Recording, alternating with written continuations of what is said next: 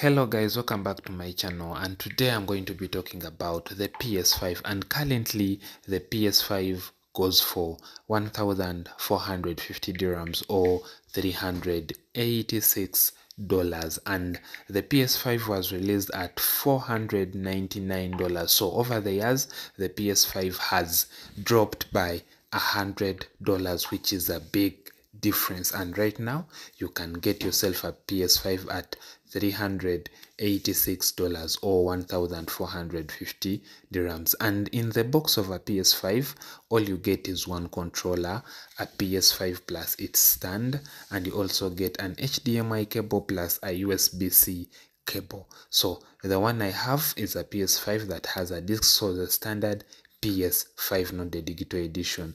And it's easy to set up the PS5 and on that amount you'll be getting a good deal for a PS5. So over the year, the PS5 has reduced by a hundred dollars, and now it's in the sweet spot for any person who wants to upgrade from a PS4 or a PS3 to a PS5 in 2023 and this will be the very sweet spot for you to get a ps5 because now it's in a, a good price range at 386 dollars you won't be cheated while getting a ps5 and this version i have it's a ps5 with one terabyte storage. So you'll be getting a bigger storage and uh, also at a very good price. It also depends on uh, what you're getting from uh, which market. There are different versions.